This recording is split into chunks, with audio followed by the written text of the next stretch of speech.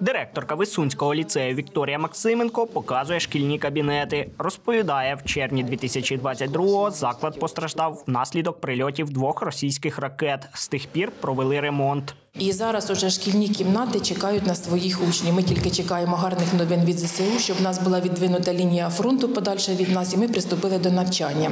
Зараз у нас у школі організовано е, навчання онлайн з використанням дистанційних технологій. У нас у закладі зараз навчається 166 учнів, з них 13 діток внутрішньопереміщених. Говорить, все необхідне для початку навчання офлайн є. Показує облаштоване сховище. Тут облаштовано дві туалетні кімнати, є кімната для зберігання води і дві великі кімнати, там де можуть діти перебувати під час повітряної тривоги. Також каже Максименко, в закладі завдяки благодійній організації Сейвет облаштували цифровий освітній центр. Нашому улику є е, 22 ноутбука, планшети, наушники, також мишки до них.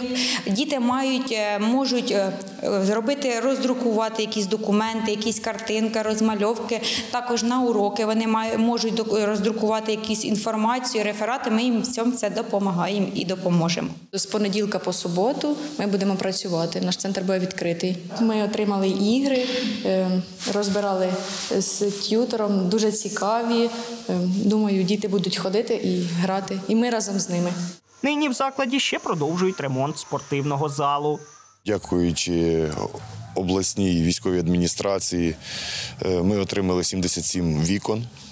Виділили кошти на встановлення 543 тисячі гривень. А так люди відбудовують е, своє житло, хто своїми силами, хто завдяки от сьогодні волонтерські організації працюють. У нас це людина в біді і янголи милосердя. Вони беруть об'єкти. Це приватні будинки, де легкий ремонт і середній ремонт. Хоча село вже позбулось статусу прифронтового, повернулись не всі жителі, говорить староста Сергій Кривошей. По округу пошкоджено майже 165 будинків. Ну, хто більше, хто менше. Е, е, Ще зруйнованих немає, ну майже зруйнованих 5. Відновлюють і інші об'єкти інфраструктури. По амбулаторії там, ну, там своїми силами е, залатали верх. Там дитсадок так само е, замінили вікна, ті, що розбиті були. Е, Двері, вікна. Ну, там ще ремонт продовжується. Були прильоти на будинок культури, і заодно і пошкоджені були і вікна в церкві. Там ну, силами церковної громади вони були за, закриті.